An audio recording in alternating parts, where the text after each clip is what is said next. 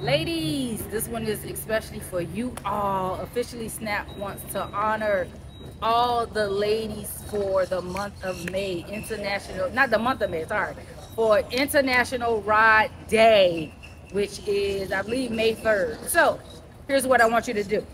I want all my ladies and ladies only. I want you to send me a video. And in your video, I want you to introduce yourself. I want you to introduce what you're riding. If your vehicle has a bike name, I want you to introduce your vehicle's bike name.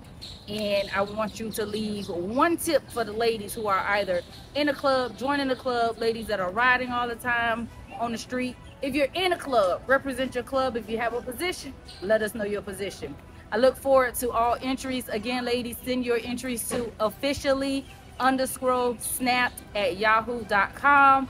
Let's get this video together. We're honoring all ladies, all ladies that are riding. I don't care if it's two wheels, three wheels, four wheels.